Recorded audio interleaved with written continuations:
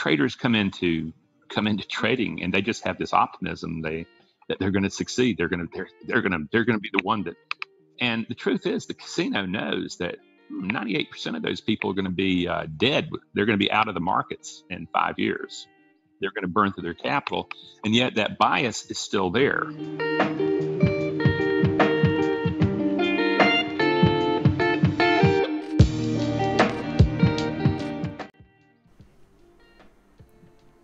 Welcome to Trade Happy. Welcome back to another Traders Podcast episode. Remember, guys, if you are enjoying this series, hit the like button, comment below what you've learnt from this episode, and subscribe. Today's trader is a psychologist and has been helping traders with psychology for over 15 years. He's wrote a book titled Trade the Markets with Edge, and he also mentors traders with their own trading. Please welcome Rande. So, for anyone that doesn't know who you are, can you just tell us a bit about yourself? Hmm. Well, I am a therapist who uh, specializes in building performance minds. And my interest is uh, literally from a neurobiological perspective of how the brain creates mind and how that mind interacts with uncertainty. Uh, that's my basic work. And I came to traders simply because they're fascinating. Uh, they deal with uncertainty uh, all the time, and they understand at some level the, the ones who really begin to evolve understand that they have to be able to go and change the way the brain interacts with uncertainty in order to be able to move from basically getting hijacked to where you have a probability based mind that can engage with. And I came, I, you know, I just came from the, um, started out as a therapist and ended up in, in human potential. So there you go. yeah. So how did you go from the therapy side to the trading side? Well, it was very interesting. Is that um, I was getting bored. Um, is what ultimately what you're what you're really finding in the therapeutic clinical side is that people want their problems to go away. They're not really looking to develop their potential as a human being. That's not that's not why they're in your office. And uh, I live in Charlotte, North Carolina, and we've got these big, huge, giant banks and the technology that supports them all. And a lot of my clients really were more interested in peak performance than development of potential. And I was just, I'm actually much more prone that way myself. And then one day I, uh, I'm talking to a guy and he's saying he's having performance problems in his business. And I asked him what his business was, and it was a hedge fund. He was a partner in a hedge fund. And I started working with him and found it really fascinating. And it was just absolutely that you, there was no way that you could not uh, have to change the way the brain operated in the in that soup of randomness and the actually acknowledge the illusion of control, all that stuff, and this whole need to think you have to win. And it it was a process of where you know I saw him grow, and uh, then he started referring people to me, and before I knew it, um, um, here I am, you know, and I I found that you know from my perspective is that I, I got all these incredibly great guinea pigs as clients that I can I just can experiment with and work with and explore. And uh, I've learned an enormous amount about how our potential as human beings are shaped, and uh, I just find it completely fascinating. So there you go. Yeah, and you mentioned that you work with that hedge fund. Um, are you able to like share some of the problems they had, or how you solve those problems with um, coming from your side, so not the technical side? You know, ultimately, it's the same thing. I'll give you an example that's happening right now with a client of mine. Is that he's a an enormously successful. He trades other people's money. He has that whole thing. And uh, with this COVID outbreak and the uh, the impact it's had on economy, and just the the violence of the swings, uh, he found himself um, having a hesitancy to actually enter into perfectly good, perfectly good valid setups. And his clientele was saying, "Look, I want to tell you something. If this money disappears, it disappears. We gave it to you, and your job is to trade it." but he found himself um, really concerned about losing their money, and it started impacting you know that that gnawing that gnawing anxiety, and started impacting his capacity to act from a probability mindset, and he started getting where he was nervous and couldn't enter couldn't enter positions.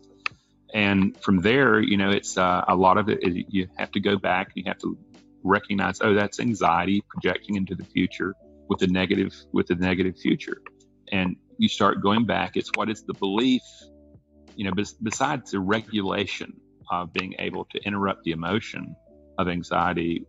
You know, ultimately, ultimately, an emotion is composed of a number of different parts.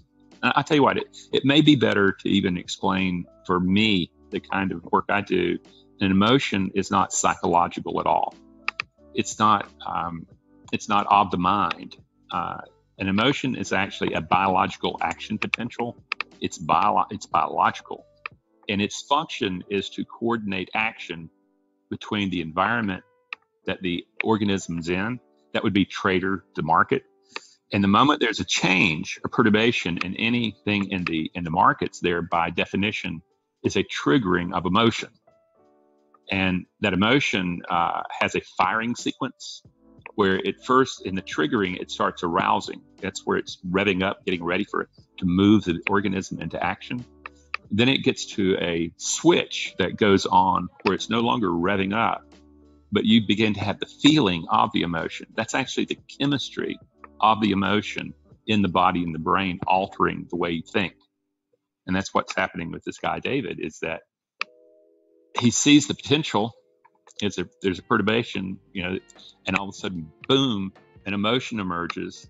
And he's been a little spooked by the, the just the craziness of the markets and he doesn't want to lose people's money. He's and yet you know this guy's got 35 years of experience under his belt. But the the next thing that once that feeling is there, the emotion it's called emotional motivation, and it's attack, avoid, or approach. Most people know that as fight flight, and it starts it, the, the power of that emotion starts taking you out, and that's when it takes over psychology. At the same time, there is a belief or what we what we'd actually call an implicit limbic belief that's not that most people would call subconscious. It's a it's a learning that the limbic system's done and it's not verbal. So you're not going to have thinking about it. It just does. And but that belief is going to it's always about your capacity for managing the uncertainty that you're engaging. And you're seeing you're seeing that happen and there's also that genetic predisposition where sometimes you know some some guys in trading have won the genetics lottery. The vast majority are just typically wired.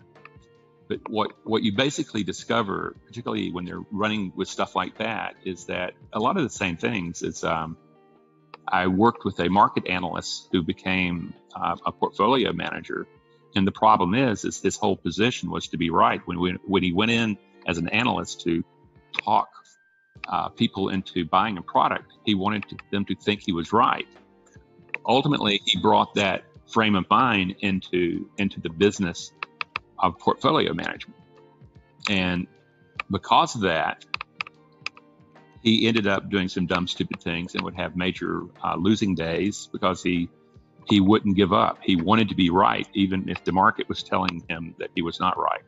So a lot of it's the same things and uh, there's actually, to be honest with you, there's actually a um, there's actually a tendency for um, there's a great book, The Hour Between Wolf and Dog, where um, it was a derivatives trader who became a neurobiologist, and basically what he was saying, what he was saying is that hold on a second, I uh, I have a cat who is going to start making a bunch of noise if I don't do what he says there. Um, but anyway, the, the thing is, is that what you discover is that on a lot of these floors, what you would notice is that they would get all jacked up before a major news event and stuff like that. And their bodies would go into this fight, flight, aggressive type of stuff. And they may have a great year. They may make the company $50 million that year. But if you look at it over five years, they lose money. And yet, the guy who's steadily making $10 million a year uh, at the end of five years, he's, he's, he's made the company $50 million rather than one year $50 million and lose $50 million over the next four years. So you see, you see that running all the way through. And it's also why trading is generally a young man's sport because somewhere you just kind of get aged out and you just begin not to want to take all those risks and just want a saner life. You spoke a lot about uh, many different things just then, um, but there's a few things that I want to kind of go over again um, in a bit more detail. So, mm-hmm. the first thing is how can the average trader develop their I'm sure it's not this word, but the unconscious thinking that you were talking about? Well, become aware of it, I think, is a, a much better position, and particularly become beginning to develop an awareness of uh, the biases that are organic in nature, like uh, optimism bias, bias. I mean, traders come into come into trading and they just have this optimism they that they're going to succeed. They're going to they're, they're going to they're going to be the one that. And the truth is, the casino knows that 98% of those people are going to be uh, dead. They're going to be out of the markets in five years. They're going to burn through their capital, and yet that bias is still there. That and that bias until you understand, oh, that's a bias, and it's built into my evolutionary psychology you can't see it. It's just operating on what we call an implicit level. And you have to start seeing it and beginning to realize, oh my God, this is not positive thinking. This is a bias that I have that is not effective in the evolution of a trading mind. Is you know, your job is to manage randomness. And your job is to become an incredibly good loser. Okay. And when things do happen on a on a random or in a with an edge to that randomness. When they do fall on your your side of probability, that means you have a win. You begin to recognize that I only landed on the right side of probability relative to me.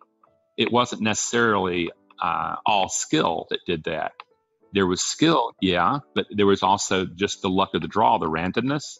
But you've learned how to accept that this is uh, that anything can happen at any time. And your desire to be right, your desire to be in control, again, biases, uh, simply have no business operating on implicit unconscious level in the trading mind. And probably where it really starts is uh, most people are blown away. Uh, I have people, uh, I, I like them to either have a good sized mirror or have a video feed on themselves so they can watch themselves trade. And they are they are generally blown away to find out how tense they are, how much you know their jaw, their fist, their you know their gut, and how little breathing they're doing. They'll be holding their breath. They'll be breathing very high in their chest, and those are these are all biological elements of emotional arousal. I mean, you're literally the body is preparing for fight flight, and you're already getting cranked up, which means that your thinking is really skewed, is already compromised, and you don't even see that it's compromised. So, where it starts, where you start developing awareness, start developing uh, literally access to um, what we'd call subcortical material, that implicit, the implicit limbic learnings, is you start watching your body. And then you start noticing and what what your trading account's telling you you know, because, you know, fundamentally, your trading account is telling you what beliefs you're bringing to the management of uncertainty. That's what that trading account is doing for you. If you have if you have an established edge in probability.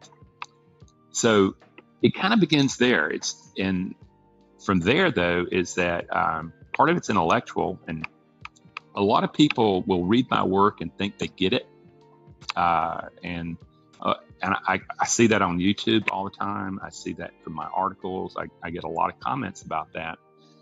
And at the same time, what I understand is this is this is more than knowledge. You can't just have knowledge like from a textbook. What you have to develop is competence, emotional competence about really truly understanding the way the brain works on uncertainty.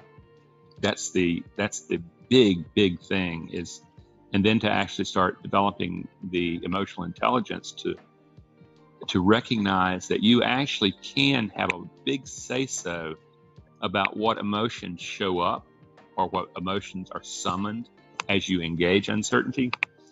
And that is what you do control is you can you can you can build a mind as you get to know yourself that maintains discipline and partiality in the midst of engaging uncertainty and that's the mind that that's the mind that performs well uh, it doesn't necessarily win or lose it performs well and if you have an edge that increase in performance is going to also show uh, you, that you're taking more capital out of the markets than you're giving back in. Yeah. Um, so I guess leading on from the uncertainty in the markets, how can a trader sitting home right now retrain their brain to deal with the uncertainty in the markets? Hmm. Well, first of all, there's just very simple stuff. You start you start a um, mindfulness practice. That's where the and you start recognizing that okay, uh, this is a lot about breath. You start doing the, the, the emotional regulation work. Whereas the first thing I teach when, when I'm working with a person, we don't get into the head. What we're doing is we're working from the body, and they start retraining the way the body responds to uncertainty. And that's something that can be done, at home. You can go to YouTube and learn how to breathe. I mean, they'll have plenty of videos uh, where literally you're learning to breathe diaphragmatically. Because I mean, ultimately, the thing about breath is that um, it's such a major part of an emotion. Is something like anger, something like fear, cannot coexist with diaphragmatic breathing. Is uh, it anger and fear require higher lung. Uh, you're you're only using the top 30 of your lungs because you know from the body's wisdom it says you know something I'm about to fight or flee from a situation. I don't need the extra oxygen to send to the brain to think.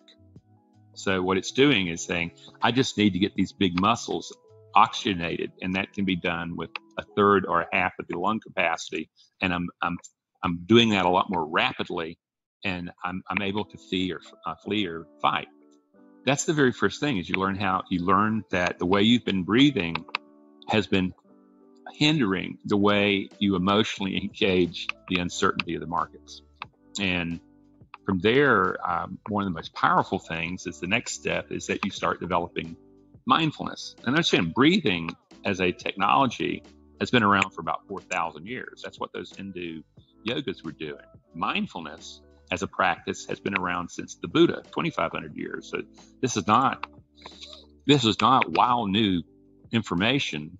This is not intellectual property information. But in mindfulness, what you're what you're doing is you're becoming an observer to thought and belief rather than uh, a participant in the thought and belief.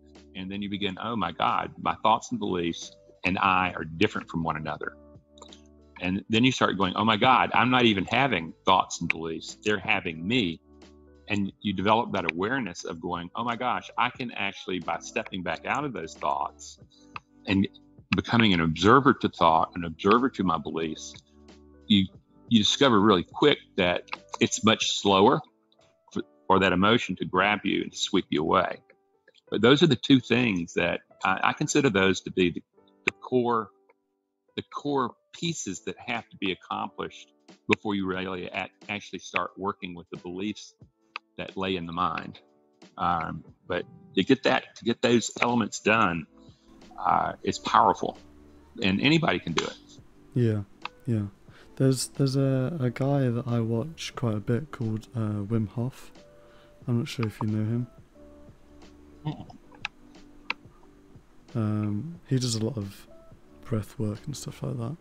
Um, but do you think that there's any routines that can help traders with their psychology? Oh, oh, absolutely. I um, I'm very much a, a routine type of guy. Is that uh, when I work with when I work with traders, they end up building a psychological trading plan that dovetails into their methodology plan.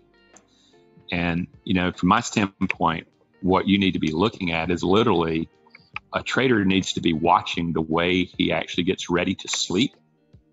Uh, a lot of the guys that I work with will start out literally by watching their smartphones, uh, an iPad, or a computer screen, or the TV, and then turn the lights out to go to sleep. And what they don't recognize is that they have just stimulated the heck out of their visual cortex, and it's going to take 30 to 40 or more minutes just to calm the excitation out for you to be able to get down into good sleep.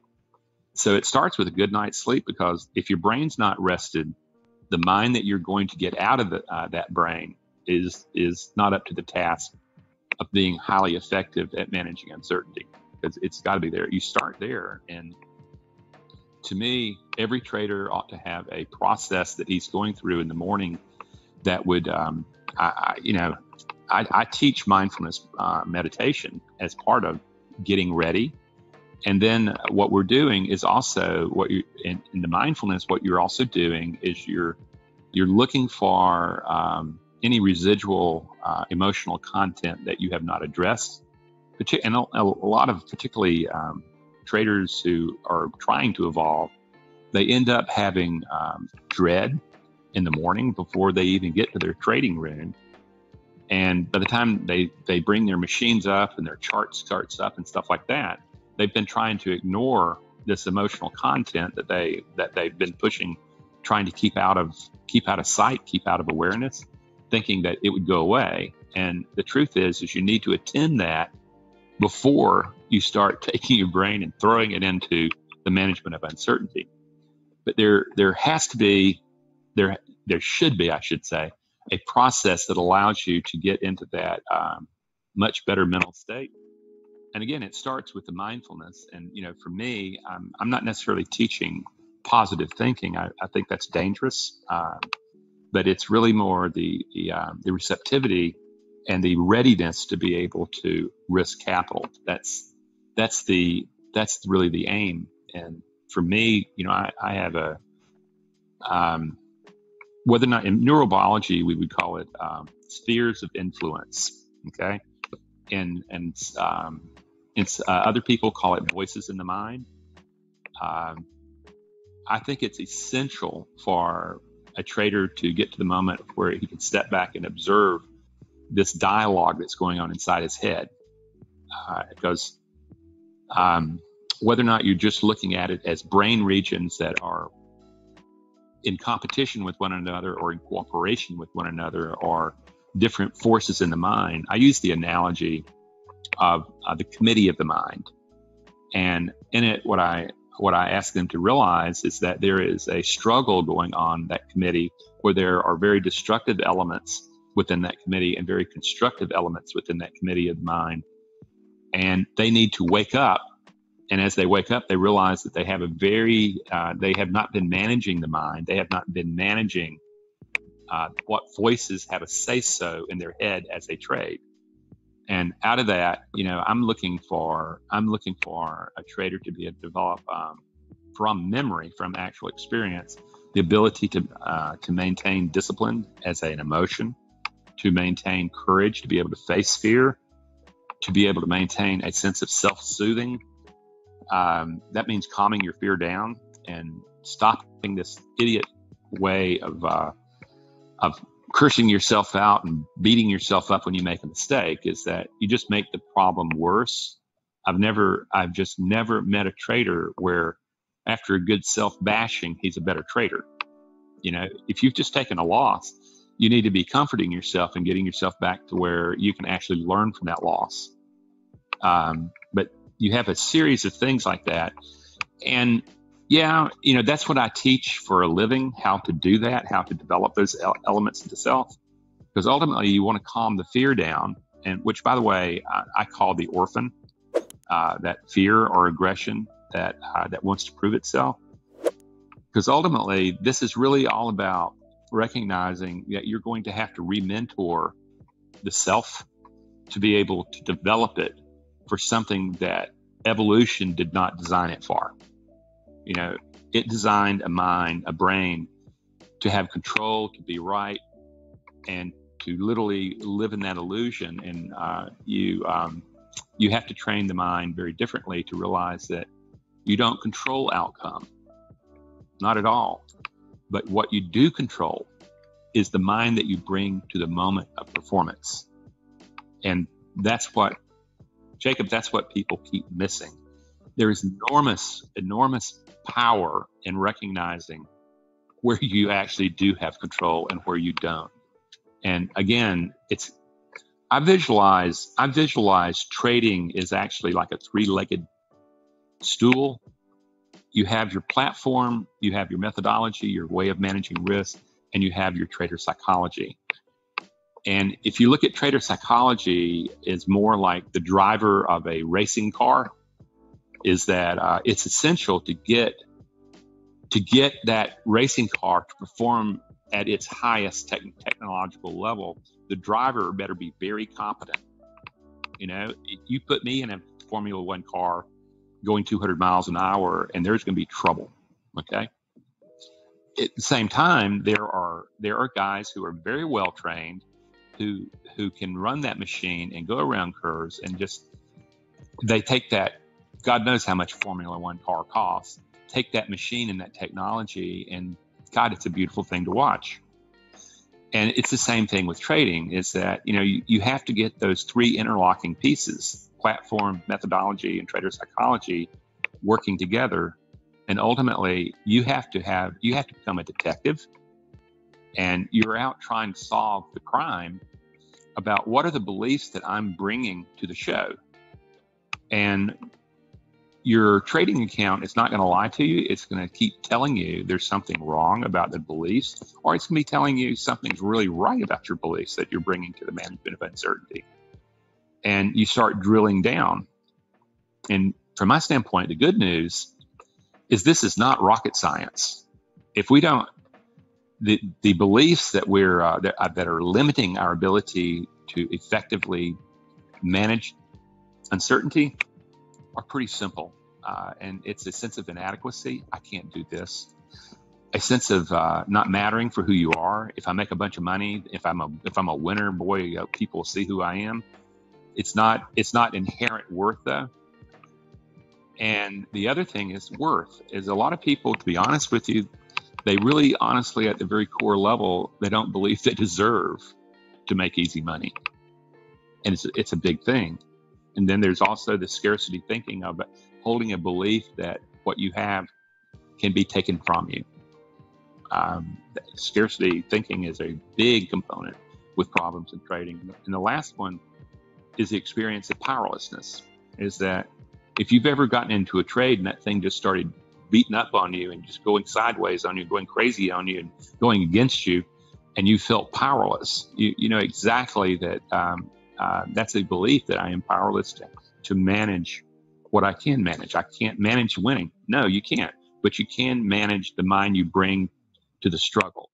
That's that's the big deal. So anybody can do that.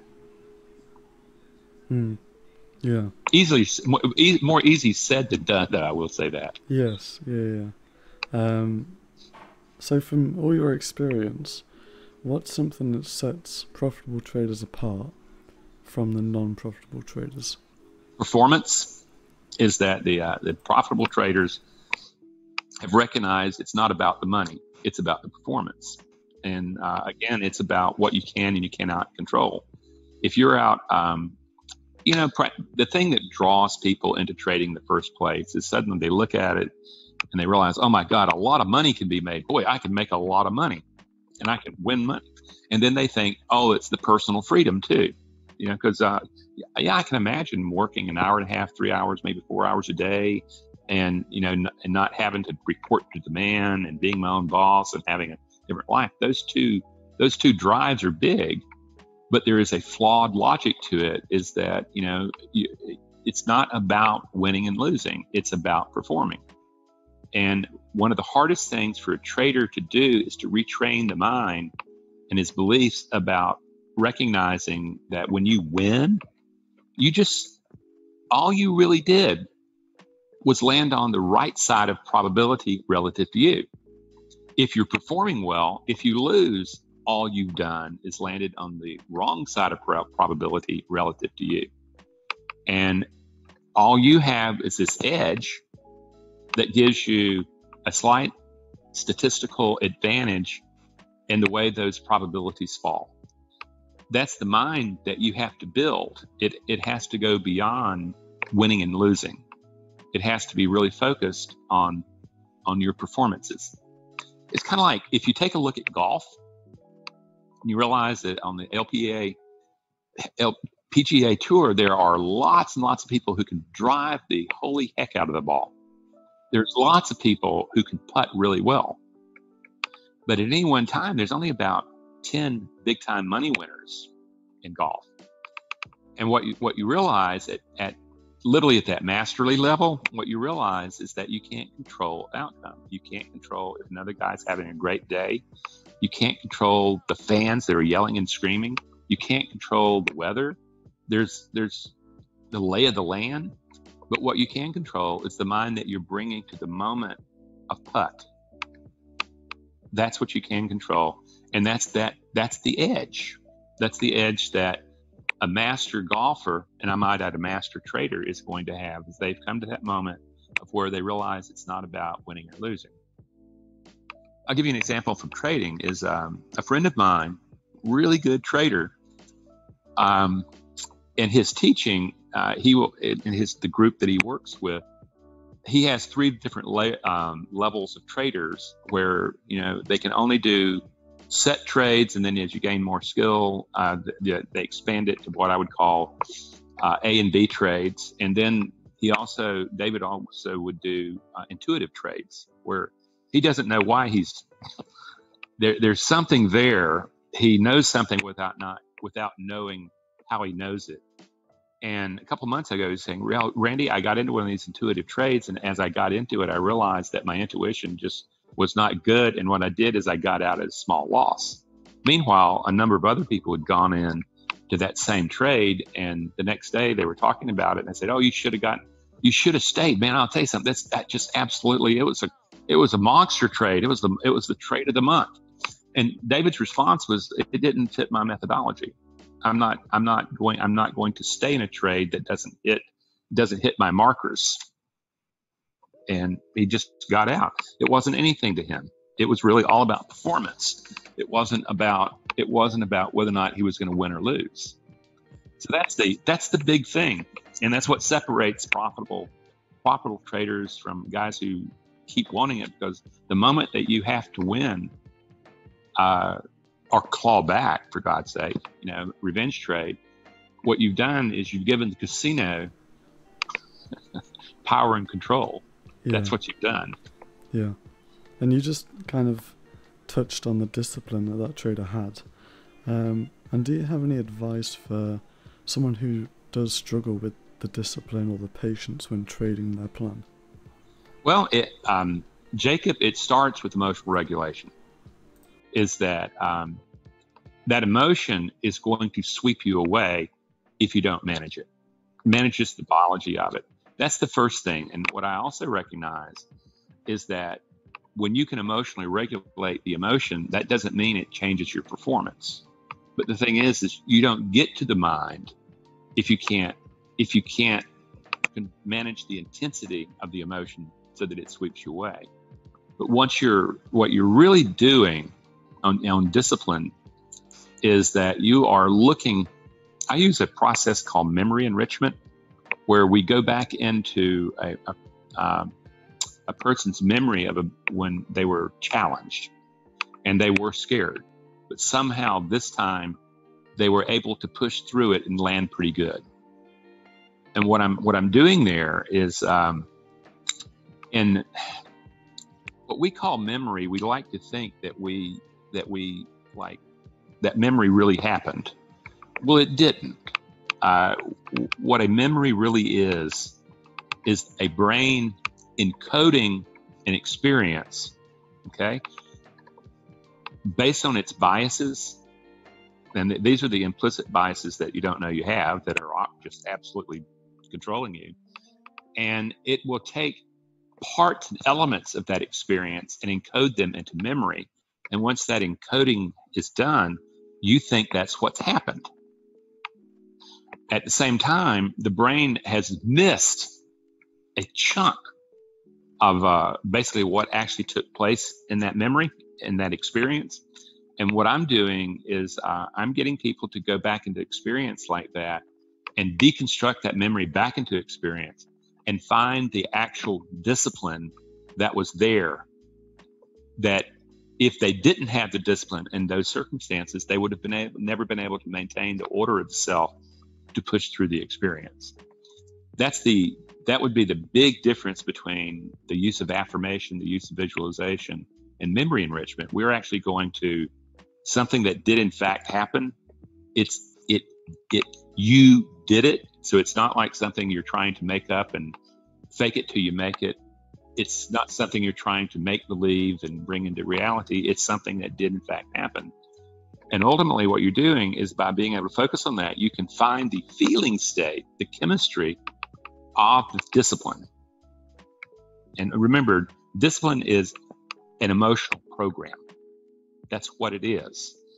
And you're literally learning how to summon the feeling state of the emotion and that's the that's the magic jacob is that all thinking is emotional state dependent. And what i'm doing is i'm teaching a person how to go in go and use memory deconstruct it and then reorder that memory. Not making it up you're just reordering it recognizing that oh well discipline courage self-soothing and impartiality did clear thinking did in fact have to occur in that experience for me to have gotten through it the way i did and it may be an unusual experience for you. It may not happen very often. But all we're trying to do is say it's on the it's on the genome. So we know it's there. You've experienced it. Now what happens is we need to start promoting and nurturing that voice within the self, that emotional program within the self, and pulling it forward so that it becomes what what I call an an acting partner in the mind, rather than the historical one that you came stock with but that's you know that's how I teach it. That's how um, that's how you know, like I said, that's that's how I teach it. I'm I'm looking for the direct emotional experience of the discipline, and from there, your your thinking becomes discipline because all thinking is emotional state dependent. At the same time, you have to have the courage to be able to face your fears, and to me, that's one of the biggest things. in in trading is that people guys just uh, you know they they can drive big old huge honking pickup trucks and they can do all this other stuff and look manly but the truth is they don't have the uh, they don't really want to look at themselves. And trading forces you to look at your fears. And it's not like you're going to conquer them. You have to master them. So the second part to me is recognizing that maybe you've gotten away with not having to deal with your fears uh, so far in your life, but in trading, you're not. You're, you're going down to the most fundamental property of literally our caveman brain interacting with the uncertainty and challenges of living, which was, you know, even 10, 12, 12,000 years ago, there were saber-toothed tigers floating around this joint. Okay. And they, it was, it was a dangerous world. Um, and, you know, I, you know, I walk through my woods around my house all the time, and I just haven't seen a tiger. You know, um, I've seen a lot of deer. You know, I've seen a lot of rabbits. I've seen I've seen a lot of squirrels, but uh, dangerous animal, nah. And yet, 10, 12,000 years ago, um, walking through the woods was a was an in- interesting affair. And that emotional brain of yours, that caveman brain of yours, I cannot separate the uh, psychological discomfort of embracing uncertainty and the biological threat that our ancestors had about uh, uncertainty. And that's the big deal is that um, you have to be willing to face that fear in order to master it. That's the that's the self-development angle. And what a lot of people discover about my work is that um, in many ways trading is incidental to my work is I'm actually teaching you how to develop a mind. It's really self development. It just has a specialty of recognizing that trading is unlike most professions, most endeavors there is, is that you can't fake it. You can't you can't self deceive. Well, I guess you can as long as you have enough money to continually lose, but you can't self deceive for long. That instant karma of your of your P&L is going to tell you really quick. And so to me, in trading, there's really no choice but to face your fears. And we as traders have to become we have to develop that courage to be able to face the fear with the intention of mastering it, not conquering it, beating it up and making it go away, but actually mastering mastering it so that the mind that you're bringing to the management of uncertainty is not a fear-based mind anymore. It's a curiosity-based mind. Very powerful stuff, actually. Yeah. Yeah, yeah, that's really good. Um, so, from seeing lots of different traders of lots of different levels, do you think that anyone can be profitable with the right education? Hmm. Well, I'll be honest with you. Um, the answer is no. Uh, in my practice, my individual practice, uh, I estimate that about 30% of the people I work with become consistently profitable. And I would, I'd like to say 90% and stuff like that but uh, the, you know the uh, the numbers are there, and you know a lot of this is self-report when I'm, when I'm working with them and having them give me information. So I'm assuming that um, I'm I'm assuming I'm getting fairly reliable information, but um, it's kind of like um, some people just constantly what people really want to do. They come to me and what they're looking for is the magic bullet. They're they're looking for the magic knowledge that I'm going to impart into them that's going to change their lives. And they're, they're thinking literally that if I just have this technique, if I just have this word of wisdom, then my the way I manage the mind that I bring to trading will be all, all better then. Whereas I look at it and go, no, that you are you are literally changing. You're changing an organic substrate in your brain. That's what you're. That's what you're doing. You're uh, you're taking an organic process and you are literally deconstructing that neural pathway that and you are reconstructing it uh, and that that's you know from a biological standpoint that takes time it takes effort and it takes a lot of uh, it takes a lot of learning uh, a lot of reps okay? And it's not magic. It, it's it's kind of like that we earn our money the old-fashioned way, hard work. It, you have to commit yourself to changing the way the brain engages uncertainty, and that's that's what uh, that's what continually amazes me is people they they get on this stuff and they will um, they know that they've got homework, they know that they're going to be seeing me, and um, they do it just before they meet me. So that oh, I've done my homework, I've done this, I've done these, blah, blah, blah that's not the point. You know, that's that's that's high school. You know, that's doing your homework just for class. No, we're we're actually we're actually talking about a continuous process of where you are training yourself and recognizing um, it's going to take somewhere between six months and a year if you really commit yourself to the process to be able to change the way the beliefs that drive how you interact with uncertainty. So that's the main thing is uh, self-honesty and the motivation uh, to say i'm willing to change. Yeah. I'm willing to change. Yeah.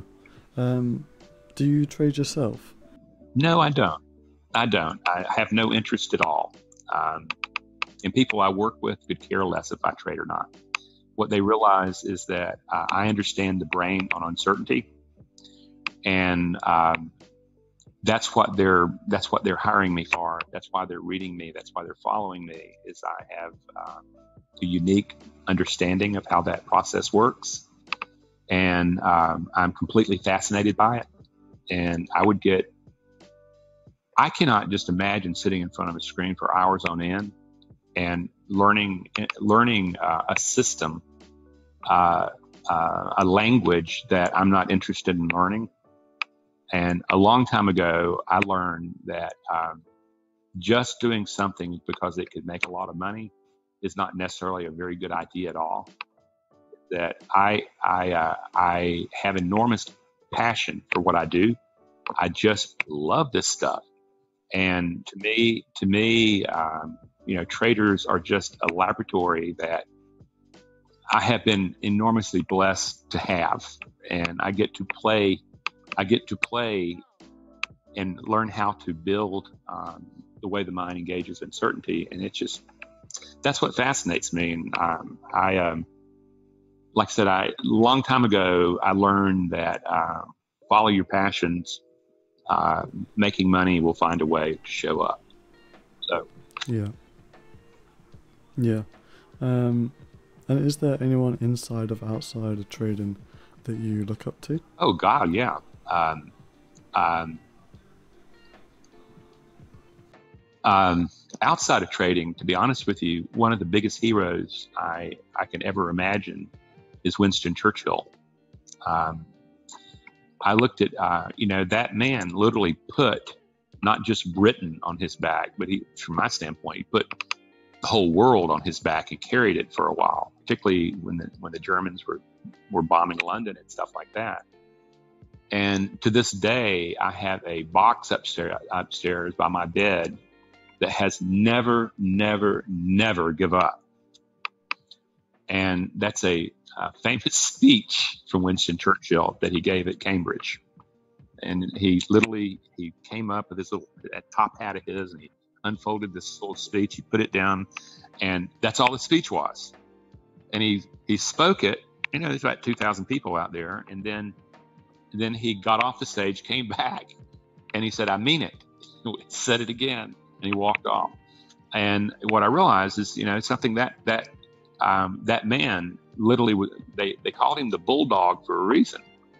And that guy that guy was resilient. That guy that re, that guy absolutely refused to give up, and he got he got Stalin and Roosevelt to be able to work together, which is beyond my wildest dreams, uh, and and and defeated probably the best military the world had ever seen. You know, it's for uh, and George Soros is a guy that I have enormous respect for too. Is that um, if you read, you know, you know, all uh, all the conspiracy junk and all like that aside, I could, you know, that's not that's not that's just simply conspiracy theory to me. But when you when you take a look at his life, when you take a look at, um, he actually, um, there was an interview that I heard with him, and where he he'd just made two billion dollars, had written a book about it, was during the financial ordeal of 2008 and he began to talk about uh, market bubbles. And he made this observation. Uh, he says, you know, the markets are just like nature.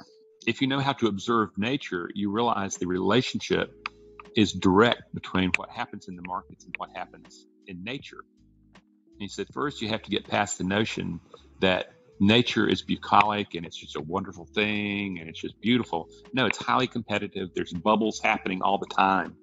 And he gave the example of, um, of a, a, rodent in Alaska called the Alaskan vole that has these uh, explosive population bubbles that happen where they just multiply like crazy to the point where all the predators basically they can just open their mouth and, and these rodents jump in their mouth. They're just everywhere. And then suddenly, within like a year or two, the entire population crashes, and a lot of there's a lot of starving going on and stuff like that. And he gave the example of that. He says, I am both an observer and a participant in the markets. He says, the problem is, is that as an observer, my job is to look for bubbles. And he said, I've become pretty good at observing for bubbles. The problem is, is I'm also a participant in the market and I can't simultaneously be the participant and the observer at the same time. But he said, what I've done is I've learned how to put the, the participant and the observer in an intimate dance with one another so that they can inform each other. He said, in this particular in this particular position that I made this two billion dollars on, I came to the moment of where the bubble was really unstable, and I decided to take my money. And he made the joke, and you know, two billion dollars is not a bad day's haul, you know. And uh, and he said at the same time, ultimately, I rec- I recognized that I left a billion dollars on that table. But the key is, is I didn't know when the bubble was going to break, and I didn't want to be around when the bubble popped. And he's and he just and he said something. It, you know, you at first you listen to it, you go, "Is this guy arrogant?" But no, he, he's not. He just simply said, "You know, what will happen is I will just simply go and find another bubble, and I'll make that billion dollars." And he said it just as matter of factly, is that uh, of like you know, my wife and I having a conversation, and she's going to go and get some sandwiches and bring them back home. Just ordinary talk, no big deal, just the fabric. But what he's done is he has created um, the capacity of observing. Now, his observing is also really intuitive because you know his body he'll start getting backaches, he'll start all that when he needs to be out of positions. So there's a level of intu- intuition in his trading in his uh, portfolio management that um, probably the rest of us are. not uh, I don't know if we'll ever become George Soros. But the thing is, you look at the $24 billion he can give away, and you realize, oh, he has at least $24 billion to be able to give away and still live really high on odds. But I have enormous respect for uh, for him. I really do. It's uh, um, I, I, don't. He's he's developed the concept of the observer and basically marshaling what mind is showing up at any particular time, and he's recognizing that there there is a separation between the participant and the observer, but they can learn to work together, and that's exactly what I teach. So I have great admiration for him. Hmm. And I have one last question. Sure. Um, is there anything else that you would like to say? And also, where can people find you? Okay.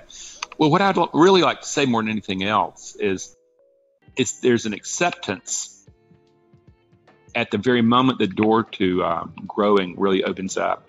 When uh, a trader recognizes the brain they brought to trading is not going to be the brain that produces success in trading. And it's no fault of your own. Okay. This is evolutionary psychology. It's just the brain's built for something very different than you're asking it to do now. You're asking a certainty based survival instinct brain to act from a probability based mind. And it, it's unless you win the genetics lottery, it's just not going to happen. And you're going to have to train it.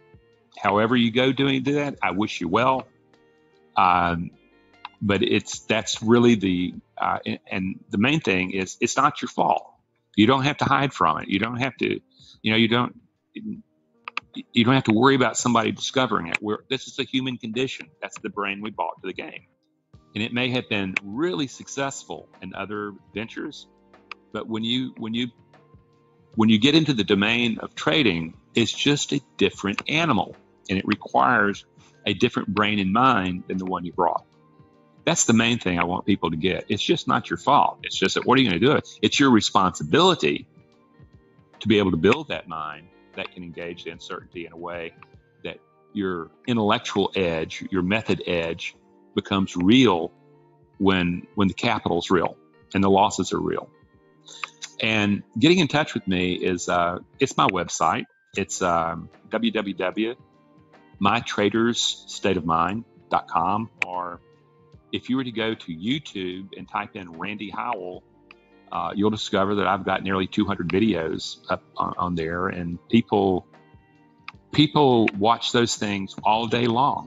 Uh, it's just crazy to me, but uh, they they will watch Rande Howell videos as they trade, and it, it's something that ha- they keep reporting that uh, it has been enormously helpful for them in their performance as a trader. And uh, but I we most of the people that I now uh, end up getting to see come off of uh, YouTube because they're they're they know they have it. What I like about YouTube is this: is they the person knows they have a problem, they are seeking an answer.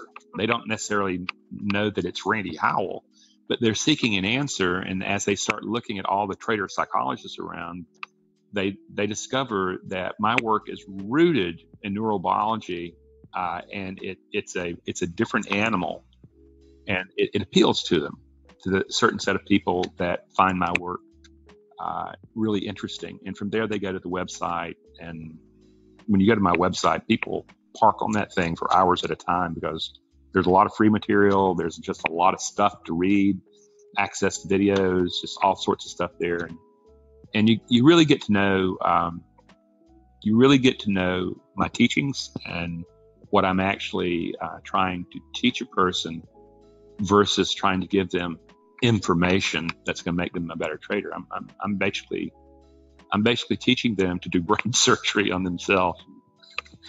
And, uh, that's that's that's the way you would. Uh, and um, the other thing is, um, I would get my book, Mindful Trading, um, and what it does is it pretty much lays out the process uh, that I use. I teach a process. When you work with me, you're just not going to talk to me about whatever's showing up in your trading. I am. We are going to learn a process, and it starts out emotional regulation to mindfulness to beginning to understand the mind as a community of powerful emotional programs that are duking it out and learning how to start managing what emotional programs are showing up to create the mind that engages uncertainty. It's just, um, I found that the process works, and if you do the homework, if you do the work, uh, I know what's going to happen. I see, I see the improvement going on. But it starts with understanding. I teach a process. I, I don't, uh, and as we as you grow, yeah, we we start looking at specific areas in your trading performances, and we start rec- learning how to deconstruct the problem areas and reconstruct them into much more powerful ways performing in the moment. Mm. Yeah, I mean that's the psychology of it is just a massive benefit for traders. Um, so yeah, I, I think Oh, necessary. Not. It's just not beneficial. Yeah. It's necessary. Yeah.